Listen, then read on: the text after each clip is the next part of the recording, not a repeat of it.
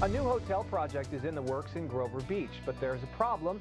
It's not near any water or sewer connections. So tonight, Grover Beach city leaders meet to talk about whether they should help developers to begin building the hotel.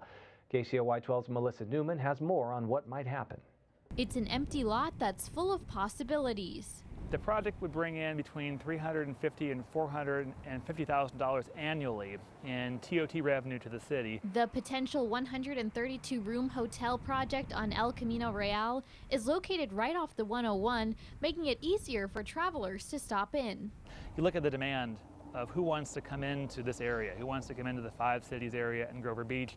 Uh, we don't have enough hotels or accommodations to, to have that demand met.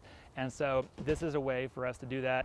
But the project has been halted momentarily because the hotel property is nowhere near city water and sewage connections. Water will be brought from right here on Oak Park Boulevard in El Camino Real, about a mile down the road to where the hotel is going to be built.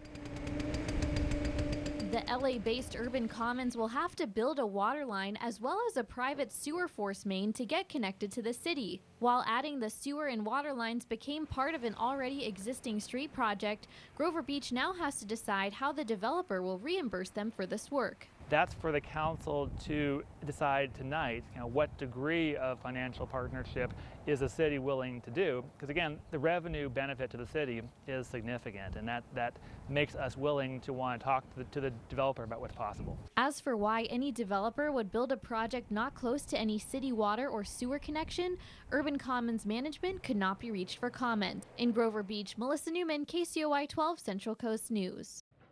And the Grover Beach City Council meeting begins tonight at 6:30.